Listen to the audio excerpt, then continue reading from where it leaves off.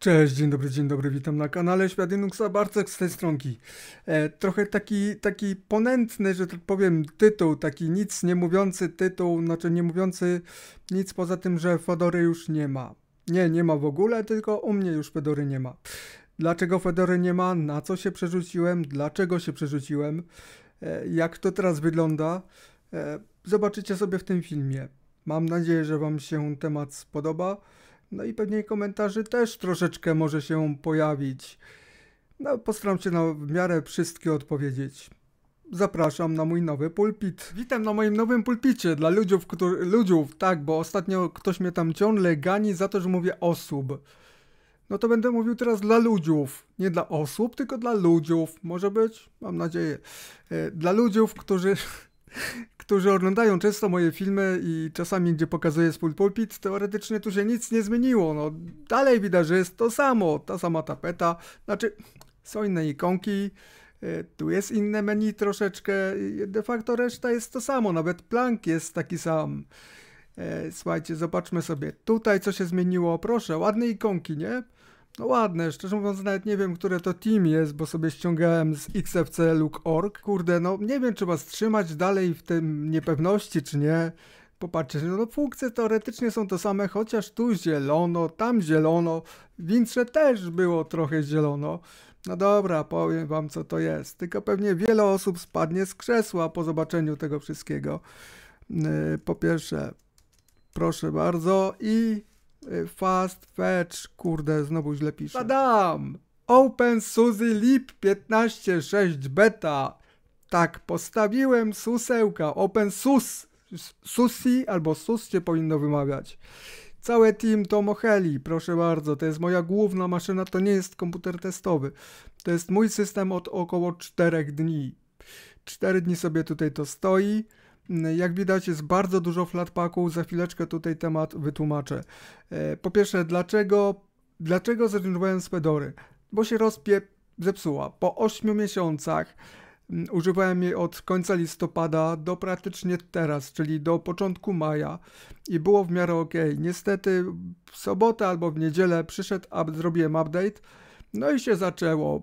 Kernel, nie, nie panik, tylko kernel stal na procesorze non-stop błędy, praktycznie w 10 sekund było 5 albo 6 błędów, wszystko przymarzało i tak dalej, i tak dalej. Y, ktoś powie Nvidia, no nie, znaczy nie wiem, y, w ostatnim update'cie nie było update'u sterowników Nvidia, stare były chyba 550. Zmienił się kernel na 6.8. coś tam, to są te kernele dedykowane w Fedorze.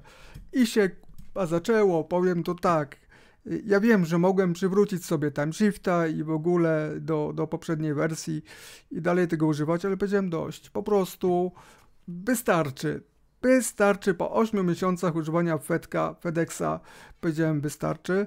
Mm, teraz tak, w międzyczasie próbowałem sobie, zainstalowałem sobie Endeavor OSa, Miałem go może parę godzin, powiedziałem nie, znowu kompilacja z AUR, to pakiety non-stop, w kółko latające. Mówię nie, potrzebuję system mieć stabilny. Debiana nie chcę. Y, Debian po prostu mnie odrzuca autentycznie. Nie wiem dlaczego po prostu tak jest. Zdaję sobie także sprawę, że w tej chwili to jest wersja beta, czyli jest w miarę świeże pakiety, tak? Tak w ogóle powiem jeszcze jedną rzecz, że z, przed tym 15.6 zainstalowałem sobie, no właśnie moja tapetka piękna, e, zainstalowałem sobie wersję 15.5, niby stabilną i tak dalej, i tak dalej. Ona już jest stara, delikatnie mówiąc, miała około roku, tak? Co się okazało, na dzień dobry, zresztą pisałem to na naszym Discordzie. E, słuchajcie, ta wersja 15.5 nie ogarnia X4 z Fedory. Autentycznie, ja miałem wszystkie partycje, znaczy wszystkie, miałem dwie albo trzy główne partycje zrobione na X4. Dodatkowo mm, tutaj mam takie osobne dyski zrobione na moje proxy, tak? Mm, zaraz wam to pokażę. Tu jest jedna sztuka, jeden dysk 500 przeznaczony na y, vm i mam drugi dysk. Mam tutaj osobno proxy do robienia w shotcutie, tak, żeby mi te pliki tymczasowe robił. No osobno mam zrobione jeszcze go timeshifta, tak, dwusetka dysk. SSD instalacji Tumbleweeda, Lipa 15.5. Cała instalacja przeszła, po czym po restarcie buch nie ma dysku. Kernel przeszedł, coś tam przeszło, koniec, nie ma dostępu do home. Myślę, co jest grane, coś poleciało, zepsuło się, nie. Zacząłem grzebać, sprawdzać i tak dalej. I okazało się, że nasz kochany LIP 15.5 ma kernel nie dość, że 5, chyba 14, to nie obsługuje y, ani XFS-a, bo XFS-a miałem zrobionego na y, tych dużych dyskach, tak, na V-Boxie, tam gdzie mam maszyny wirtualne i na tym drugim. I jest problem ze 4 z Fedory, bo Fedora dodaje jakieś tam ekstra rozszerzenia, których lip po prostu albo kernel, albo coś tam nie ogarnia. Nie pomogło do instalowania pakietów jakiś tam X4, sprawdzanie dysku i tak dalej, tak dalej. Musiałem wszystko przewalić po prostu na, na, na lipa, tak? Na format lipa 15.5 zacząłem używać tego 15.5, no masakra staro, po prostu masakrystycznie. Tam nie dość, że pakiety, y, system miał teoretycznie rok, tak? Y, ale pakiety są jeszcze starsze do kompletu, więc powiedziałem, no nie, nie, zainstalowałem Endeavor OS-a, tak jak mówiłem, no nie, nie, nie, no to, to teges. Y, tam jak koleżanka jedna, nie pamiętam, na Discordzie, mówiła, że postawiła sobie lipa 15.6, że jest ok. No spoko, dobra, postanowiłem sobie, postawiłem to, Wszystkie dyski ruszyły od kopa, wszystko, po prostu przyściusieńko z Fedory zaczęło działać, bo zaczęło mi widzieć Homa starego i tak dalej, i tak dalej, nie? No dobra, spoko. Wcześniej czytałem sobie, wcześniej, no, przeglądałem sobie ogólnie tematy o OpenSUSE mm, i wyszedł temat, jeżeli chodzi o tak zwanego Pacmana. Tutaj mamy Pacmana, tutaj nie chodzi o tego Pacmana z Manjaro czy z Archa ogólnie, tylko chodzi o tak zwane zewnętrzne repozytoria OpenSUSE, Pacman. Oni teoretycznie od wielu, wielu lat, ładnie się to rozjeżdża, ups, nie powiększać, bo się rozjeżdża. Oni dostarczają ogólnie dla Suzy, dla SUS, tak? Będą mnie poprawiać w komentarzach i dobrze, bo mi się należy. Dostarczają nowe wersje albo za, y, nowe mm, wersje pakietów, które są zastrzeżone w jakiś tam sposób OpenSUSE. OpenSUSE ogólnie jest dystrybucją, która zawiera wyłącznie otwarte oprogramowanie. Mają duże, znaczy duże, mają specyficzne, znaczy specyficzne mają podejście takie, iż nie umieszczają żadnych rzeczy, które mają jakieś tam patenty. I dotyczy to na przykład tak zwanych kodeków. Y, Fedora ma podobnie, z tym, że Fedora ma na przykład RPM Fusion, tak, dodatki, plus RPM Fusion non-free, tam wszystkie rzeczy są umieszczane. W Debianie jest podobnie zresztą, tak. Mm, tutaj jest tak zwany Pacman. Ja kiedyś, lata temu, chciałem używać Tumbleweeda przez jakiś czas, po dodaniu Pacmana się wszystko rozpie- zepsuło. Ta makabra zaczyna wychodzić, tak? Kwestia jest między innymi tak zwanych priorytetów, upgrade'ów, czego nie robić, co robić. E, słuchajcie, poczytałem o tym Pacmanie różne komentarze na forach, na reddicie. Niestety problem tutaj jest olbrzymi taki. Największy problem jest w Tumbleweedzie. Dlatego, że Pacman jest w plecy. Czasami jest parę godzin, czasami jest nawet dni do tyłu. Jeżeli macie dodane na przykład mm, Tumbleweed to jest release tak zwany płynny, tak? On cały czas się zmienia, tak jak Arch, to jest praktycznie to samo. Ja wiem, pakiety są bardziej z, te ogarnięte, potem AI to, to testuje, OBS tak zwany, czyli Open Build Service bodajże, tak? Wszystko jest fajnie, pięknie tylko że w pewnym momencie te pakiety wam się zaczynają rozjeżdżać. Repo, rozjeżdża się repozytorium oficjalne i Pacmana i zaczyna się taki del, że głowa mała. Ja wiem, że w większości Suzy chodzi zajebiście, fantastycznie, jest cudowne, wow, bajka, potęga i tak dalej. Ja powiedziałem sobie, nie dotykam Pacmana, mam to gdzieś, nie chcę.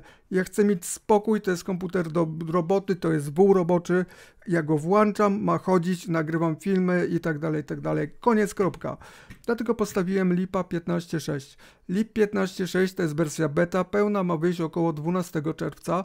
E, co jest bardzo fajne przy okazji, Pacmana nie ma na 15.6. Nie istnieją takie repozytoria jeszcze.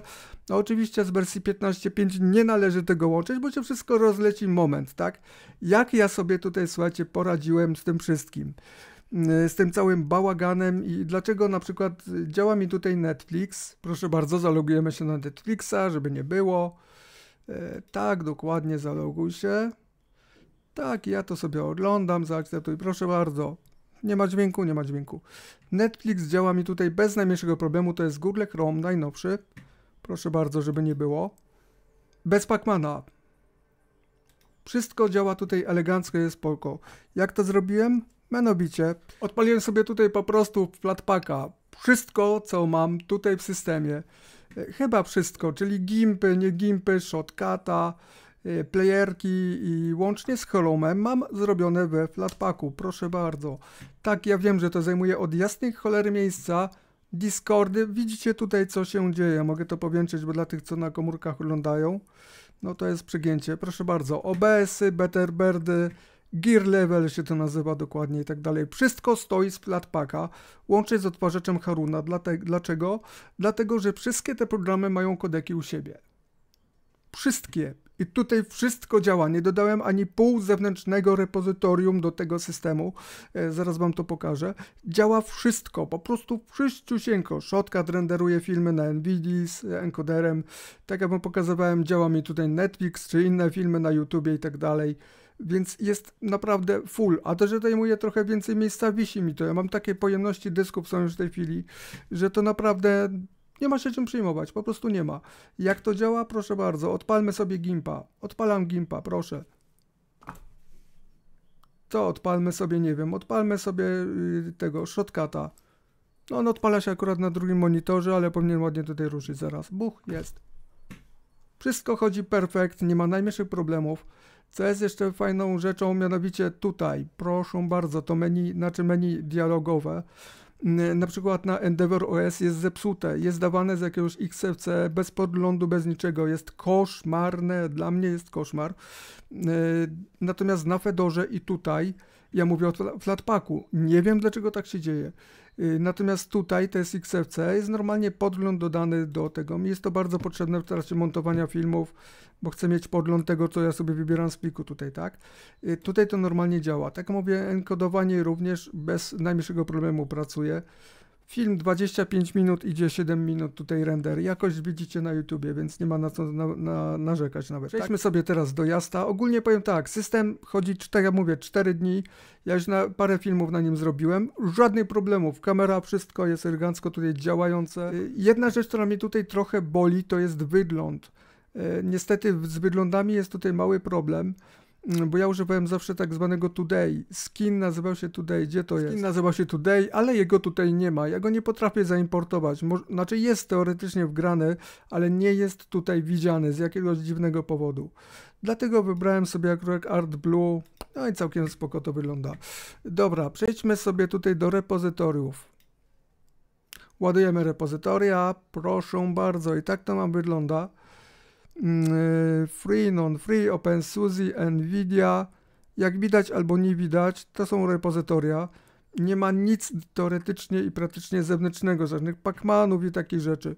Jeżeli chodzi o instalację NVIDIA, bo tutaj NVIDIA jest zainstalowana, to na, mi na dzień dobry sam sobie wybrałem pakiety w instalatorze. O instalatorze powiem może kiedy indziej, bo to jest duży, bardzo długi temat. Mm, wybrałem sobie tam niektóre rzeczy Y, słuchajcie, odpaliło się bez, bez Nuvo nawet, w 1024, ale dałem radę sobie to ogarnąć. Instalacja sterowników to jest jedna komenda. Y, sudo zyper, zaraz wam pokażę. W każdym razie stery się zainstalowały, działają bez najmniejszego problemu. Wszystko hula tutaj tak, jak powinno, tak jak mówię, encoder, CUDA, wszystko pracuje idealnie, po prostu żadnych tutaj rzeczy nie ma. Jestem bardzo, bardzo z tego zadowolony. Jedna rzecz, która tutaj jest nie teges, y, to te rzeczy graficzne, jasta i tak dalej, no są wolniejsze, tak? Wiadomo, że z konsoli to za, zasuwa, nie? A w ogóle właśnie, co do konsoli jeszcze, y, słuchajcie, Zyper jest zajebi- bardzo wolny, powiem to tak. Autentycznie y, czasami jest gorzej niż w Fedorze, niż DNF. Nie robię sobie żartów i tak dalej. E, sudo, zyper, muszę sobie skróty jeszcze dorobić, ale to już pikuś. E, update, mogę update napisać, mogę zrobić up, po prostu. E, I czasami odświeżanie tych repozytoriów, no teraz idzie w miarę, nie? w miarę, ale, ale jest to ogólnie koszmar. Okej, okay, to jest tak jak mówię beta, więc teraz tu się kernel nawet zmienia z tego co widzę. Ja tego robić nie będę, na razie nie chcę musiałbym sobie migawkę ogarnąć i tak dalej. Nowe zainstalowane yy, zostanie aktualizacja, tak? No bo do 12 będą lecieć na stop pakiety, a potem jest stop i same aktualizacje bezpieczeństwa, więc spoko. No tak to na razie nam tutaj wygląda, sobie to podziękuję za ten temat. Yy, OPI mam zainstalowane, tak, ja wiem o OPI, to jest instalator takich tych, no coś jak AUR, tak? Jej albo jak to się nazywa. Nie używam tego, nie potrzebuję. Zresztą jak chciałem zainstalować jakieś kodeki, coś tam z OPI, no to oczywiście z Pacmana, tak? Więc nie, nie, nie, nie, nie. Ja nie zamierzam sobie tego systemu, że powiem, psuć, bo jest naprawdę, jestem mega, mega zadowolony. Oczywiście X4 nie uznaje BTRFS-a, nie chcę tego widzieć na oczy. Dla mnie Timeshift z X4 chodzi tak. Chociaż myślę, że tutaj na Suzy e, będzie święty spokój, na SUS, tak. Będzie święty spokój. Zdaję sobie sprawę także z tego, e, że za jakieś pół roku coś takiego może być, zacząć się jakieś tam powiedzmy konflikty, e, w sensie, że może się parę rzeczy rozjechać. Chociaż jako, że ja mam głównie flatpaki, to powinno być jak, najbardziej w porządku. Zobaczymy, zobaczymy. Proszę bardzo, zainstalowane 12 giga mi zajmuje cały system w tej chwili, ze wszystkimi tam 30 flatpakami. Jeżeli chodzi tutaj o home, to jest 240, ale dlatego, że tu mam kupę rzeczy dołożonych, swoje filmy, e, renderingi, tego typu rzeczy, dlatego tym się nie ma co po prostu przejmować. No jest ok, tak? Mam NASA tutaj podłączonego swojego, działa bez problemu. E, standardowo nie trzeba żadnych NFS, coś tam komand dodawać i tak dalej, bo to wszystko tutaj jest. To po prostu sobie pracuje od kopa. Mogę wam pokazać ewentualnie ten e, jakiś film odtwarzany w Harunie. Moment. Dobra, odpalmy sobie tutaj coś. Tu mam, to wszystko jest y, ten, jak to się nazywa? E, nie X4, tylko MK, MK, MP4, tak? Ja on tutaj nie pokazuje chyba tego typu rzeczy, ale to jest zwykłe MP4, tak? Tak jak mówiłem, żadnych kodeków tutaj nie trzeba, nic. Haruna Media Player VLC sobie odpuściłem całkowicie, nie gadaj mi tutaj.